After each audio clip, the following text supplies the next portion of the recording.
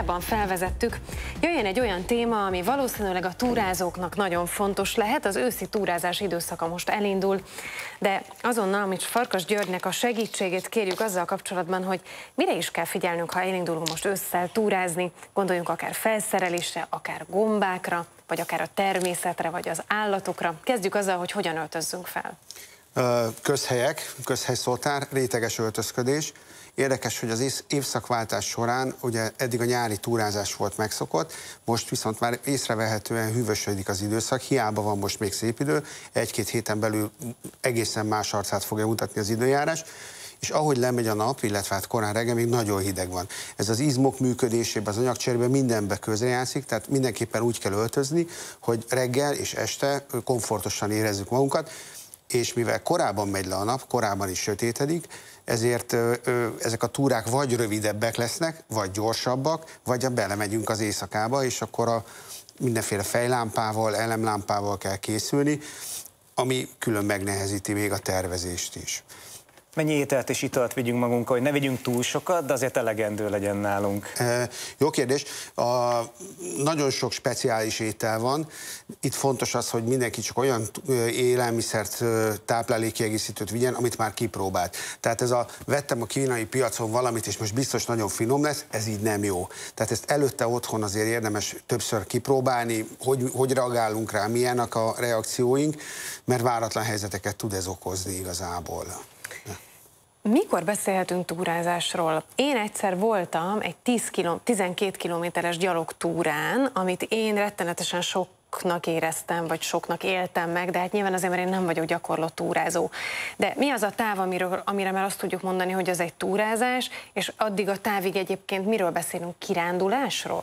Ö, rengeteg megközelítés van, tehát van, a, van egy ilyen klasszikus ö, példa, hogy ki a turista és ki a kiránduló, ö, de lehet ezt szenvedésnek is hívni igazából, tehát hogyha úgy áll hozzá az ember.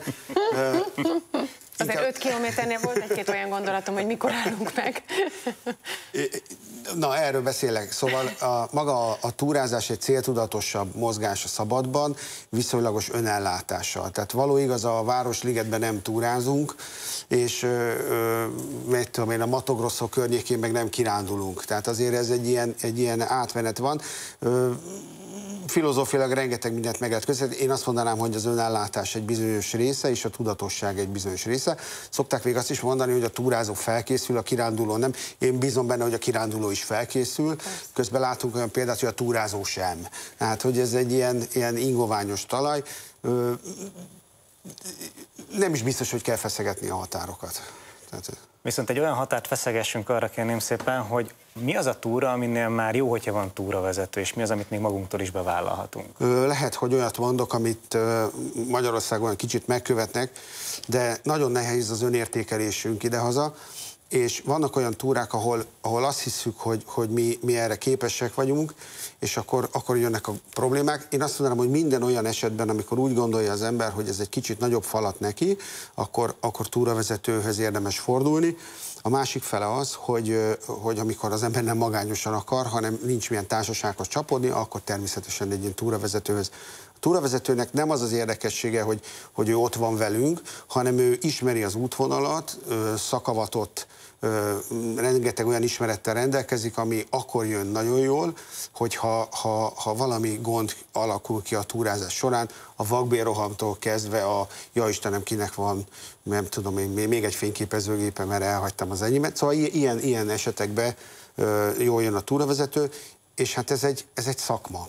A túravezetés, nem úgy születünk, hogy, hogy, hogy, hogy tudjuk. Ezt meg kell tanulni, és ki így tanulja meg, ki úgy tanulja meg és a, a, történetesen mi oktatunk túravezetőket Európai Uniós szabvány szerint, nemzetközi képesítéssel, ez egy felépített rendszer. Szóval ez nem úgy van, hogy most elolvastam egy kicsit ebből, egy kicsit abból, olyan, mint az ember tragédiája, szóval hogy végig kell venni rajta a dolgokat, és nem elég kell lecsipegetni, mert közben nem érti meg az ember. Köszönjük szépen. Nagyon szépen köszönjük. Én köszönöm. Ennyi volt a napindító, illetve a napindító plusz, de holnap folytatjuk. Ez így van. Holnap már péntek, ugye a hét utolsó munkanapja, de a napindító 6 óra 50 perccel ugyanúgy elindul továbbra is az orosz-ukrán háborúval foglalkozunk a műsor első órájában, és utána izgalmasabb, könnyedebb, közérdekűbb témákat is előveszünk.